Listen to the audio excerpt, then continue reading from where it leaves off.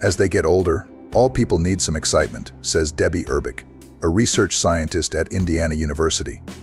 Nearly 10% of all dreams include sex. Research has shown that orgasms experienced during sex cause us to release 400 times more prolactin, which tends to make people feel sleepy and satiated than those from masturbation. Orgasms can lower a woman's risk of heart disease, stroke, breast cancer, and depression. The surge of oxytocin that occurs during orgasm triggers a release of feel-good endorphins that act as powerful pain relievers. Despite what men claim, only 15% have a penis longer than 7 inches, and only 3% have a penis more than 8 inches long. When the uterus contracts during orgasm, it can help use up cramp causing prostaglandins, flush out excess blood, and even clear out some of the lining and debris that could flow backward.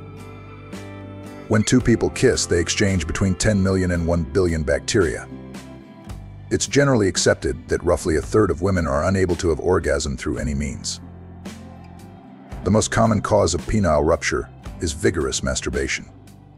Some women love the feeling of rhythmic pressure on their cervix and may depend on that sensation to reach orgasm. After fingers and vibrators, candles are the most often used objects by women. According to research published in the Journal of Sexual Research, women's ability to orgasm increased by 30% after taking part in a mindfulness program. The left testicle usually hangs lower than the right for right-handed men. The opposite is true for lefties. The average woman needs 20 minutes of stimulation to reach climax, whereas men typically require between 2 to 10 minutes. The average male orgasm lasts 6 seconds, the average female orgasm lasts 20 seconds. It has been shown that when you reach orgasm, the area behind your left eye, known as the lateral orbitofrontal cortex, shuts down. The impulse to ejaculate comes from the spinal cord, no brain needed. If you're struggling to reach orgasm, using lube might help. The world's largest recorded penis belongs to 41-year-old New Yorker Jonah Falcon, whose appendage measures 9.5 inches flaccid and 13.5 inches erect. The clitoris is the only part of the human body that never ages. The pulsations a woman feels during orgasm are actually her uterus trying to gather sperm. The clitoris doesn't play a direct role in human reproduction, it's just there to make us feel good. Birth control pills dampen the libido. Sensations that start in the clitoris can spread across the pelvic area, affecting about 15,000 other nerve endings. The clitoris actually has a pretty similar anatomy to a penis with glands, a foreskin, and a shaft. The clitoris grows throughout a woman's lifetime. Women can get pregnant five to eight days after having sex. Wearing high heels can negatively affect a woman's orgasm. Studies have shown that orgasms can make women more confident, productive, and creative. Get aroused and sex won't be messy anymore. Isn't sex a messy activity, mostly when you're not in the mood? That's because sexual arousal overrides the body's natural disgust response, implying that you won't find the act messy as long as you're enjoying it. According to a study undertaken by researchers from the University of Groningen in the Netherlands, when a group of women was asked to watch either an erotic film, a sports video, or a neutral video of a train, and then perform a series of unpleasant acts, like drinking out of a cup with a bug in it. They found that those who'd watched the sexual acts rated the tasks as less disgusting and were also able to complete more of them compared to their counterparts. Sex does burn calories, it's the most commonly cited thing about sex, but seldom have people believed it. Now, it's time to get your facts right.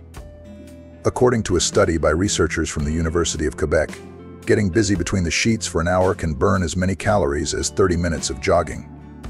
As per the study, men burn an average of 4.2 calories a minute during sex, while women burn about 3.1. Overall, men and women burn about 101 and 69 calories per session, respectively. 99% of couples feel that others have a more satisfying sex life than their own. Engaging in morning sex releases oxytocin, a feel-good chemical that fosters a loving and connected atmosphere throughout the day. Research has shown that breast foreplay enhances sexual arousal in men. Women are more likely to experience multiple orgasms if they wear socks during sex.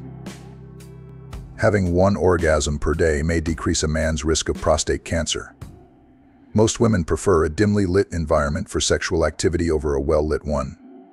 Through masturbation, a woman can orgasm in about 4 minutes, but it may take her 10 to 20 minutes to reach orgasm during intercourse. Only 18% of women orgasm solely through vaginal penetration.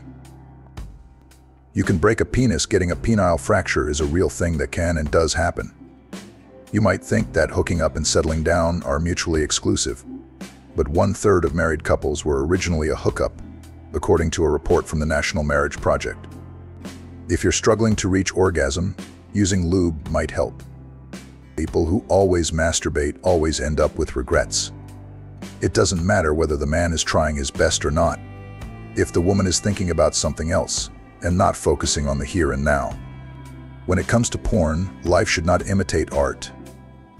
The secret to mind-blowing sex is lube. Ever wonder why things like spanking and hair pulling go from bad pain to good pain when brought into the bedroom? That's because your pain threshold can increase significantly during orgasm. According to a study published in the Journal of Sex Research, researchers at Stanford and Columbia Universities found that women who had sex at least once a week had more regular cycles.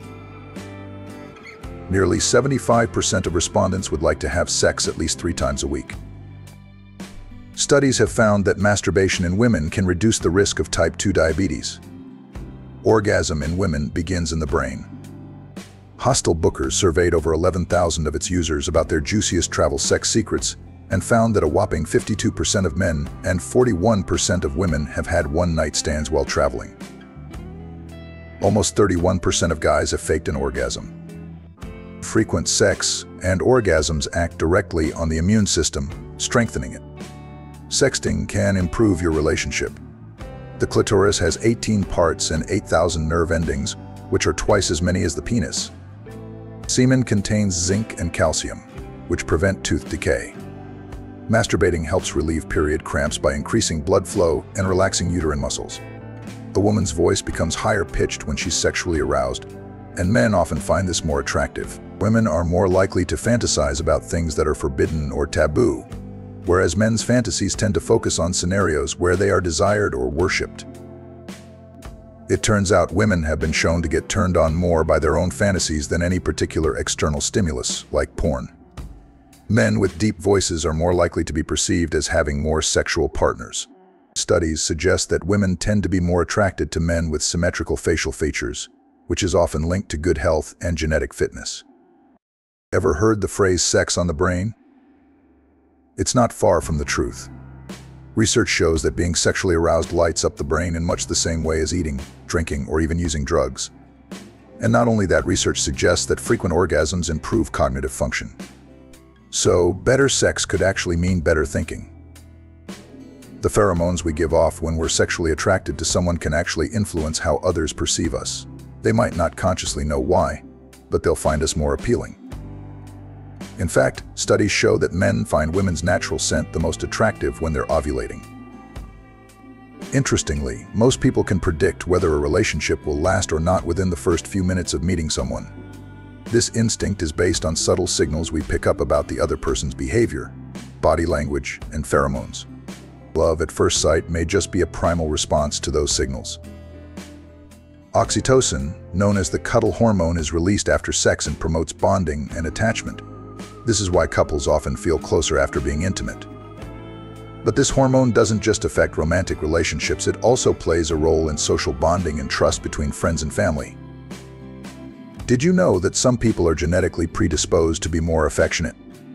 Studies have shown that a variation in the oxytocin receptor gene can make certain individuals more likely to engage in affectionate behaviors like hugging, kissing, and cuddling. This gene may even influence how empathetic someone is. The Couples who have a healthy sex life tend to be more satisfied in their relationships overall. But it's not just about the frequency of sex, it's about the quality. Good communication, trust, and emotional connection are key ingredients to a fulfilling sex life. Women are more likely to engage in mate choice copying, meaning they are more attracted to a man who is already in a relationship. This could be because a partnered man is seen as being more desirable or trustworthy, since another woman has already vetted him. Interestingly, studies show that during ovulation, women may experience a spike in libido and even dress more provocatively. This is an evolutionary tactic during the time when a woman is most fertile, she may subconsciously try to attract a mate. Studies have also found that synchronized breathing between partners can enhance sexual intimacy. When you and your partner are breathing in sync, your bodies become more attuned to each other, heightening the emotional and physical connection. In fact, the anticipation of sex can sometimes be more exciting than the act itself. Dopamine, the feel-good hormone, is released in anticipation of pleasure, meaning that simply thinking about sex can trigger feelings of excitement and arousal. Contrary to what some might believe, Sex isn't just about pleasure, it also has numerous health benefits. Regular sex has been shown to improve heart health, boost the immune system, and even extend lifespan. For women, it can help regulate menstrual cycles and alleviate PMS symptoms. Not only does sex make you feel better mentally and emotionally, but it can also have a profound impact on your physical appearance. The increased circulation and release of hormones during sex can lead to glowing skin, shiny hair, and even a more youthful appearance. If you've ever wondered why makeup and fashion often emphasize certain body parts like lips, eyes, and hips, it's because these areas signal fertility and sexual availability. Full lips, wide hips, and bright eyes have been associated with reproductive health, making them more attractive to potential mates. At the same time, what's considered sexy can vary dramatically across cultures and time periods. For instance, in some cultures, heavier body types are seen as more attractive because they symbolize wealth and abundance. In others, slim and athletic builds are preferred because they suggest health and vitality. Despite these differences, one thing remains constant confidence is universally attractive. People who exude self-assurance are often perceived as more desirable, regardless of their physical appearance. Confidence signals to others that you are comfortable with yourself, which can be incredibly appealing. Finally, let's talk about the concept of sexual compatibility. It's not just about having similar interests in the bedroom, it's about understanding each other's needs, desires, and boundaries. The couples who are sexually compatible tend to have stronger, longer-lasting relationships because they are able to meet each other's emotional and physical needs. Research shows that younger women are often more exploratory when it comes to masturbation, discovering their own bodies and learning what brings them pleasure. For many, masturbation is a form of self-discovery. It allows them to understand their own sexual responses, which can lead to better communication with future partners about what feels good for them. Younger women tend to be more open about discussing their sexual needs and desires with friends and partners, thanks to more progressive social attitudes towards sexual health and female pleasure. Interestingly, masturbation can also help younger women manage stress and anxiety, with many dealing with school, work, or early career pressure, self-pleasure becomes an easy and healthy outlet. The release of endorphins during masturbation helps to alleviate stress, improve mood, and create a sense of well-being. On the other hand, older women, particularly those in their 40s, 50s, and beyond often report an even deeper connection with masturbation. As women age, their sexual needs and desires can evolve. For many older women, masturbation becomes an essential part of maintaining their sexual health and well-being, especially during and after menopause. Menopause often brings a decline in estrogen levels, which can lead to vaginal dryness, lower libido, and discomfort during intercourse. For some women, masturbation helps maintain vaginal health, as it encourages blood flow to the area, which can help with lubrication and elasticity. By continuing to engage in sexual activity, even solo, older women can keep their bodies responsive and maintain their sexual vitality. Furthermore, many older women report feeling more sexually liberated after menopause. Freed from concerns about pregnancy or societal expectations, they may feel more comfortable exploring their own pleasure without guilt or shame. For these women, masturbation becomes an act of self-care and empowerment. It's no longer just about physical pleasure, it's about maintaining a sense of control over their own bodies and sexuality. It's also worth mentioning that while younger women may be more influenced by external stimuli like visual or auditory cues, think erotica or porn, older women often report that their fantasies and imagination play a bigger role in their arousal. This is because over time they've become more in tune with what truly excites them, and they've learned how to tap into their own erotic mental space. One fascinating study found that women in their 50s and 60s often experience a second sexual awakening where they feel more in touch with their bodies and more confident in their sexual desires than they ever did in their younger, younger years. This confidence can lead to a richer, more fulfilling masturbation experience. Moreover, older women might also prioritize masturbation as part of their health routine. The benefits of regular orgasms like better sleep, stress relief, and improved mood are even more important as they age. With the added pressures of work, family, and sometimes health concerns, masturbation can offer a quick, natural way to relax and feel good. There's also a social component. While younger women might be more likely to talk openly about their masturbation habits with friends due to changing cultural attitudes, older women may still carry some of the taboos from earlier generations. However, as sex-positive movements gain traction, more older women are becoming comfortable discussing their sexual health, including masturbation, with peers or professionals. The takeaway? Masturbation serves different purposes at different stages of life. For younger women, it's often about exploration, discovery, and stress relief. For older women, it can be more about maintaining sexual health, connecting with their bodies, and reclaiming their pleasure on their own terms.